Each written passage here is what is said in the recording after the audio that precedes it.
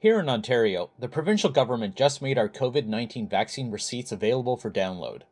I'll walk you through an easy way to have your receipt handy on your phone so you can pull it up in an instant and not hold up the line. Basically, the idea is to create an icon on your home screen so you can bring up your receipt with a single tap. I'm on Android and I'll be using the Google Drive app in this demo, but it should also work in iOS and with any app that is able to display images or documents and create home screen shortcuts.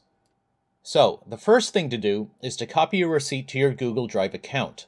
I downloaded mine on my desktop PC, which automatically syncs files with Google Drive.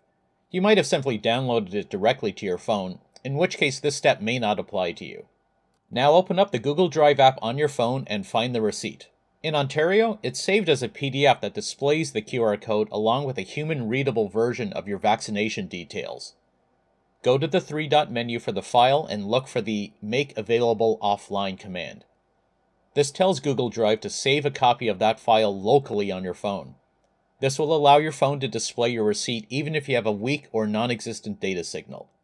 Now go back to the three dot menu and scroll down to the bottom. You should see a command called Add to Home Screen. This will create an icon on your home screen linking directly to the vaccine receipt.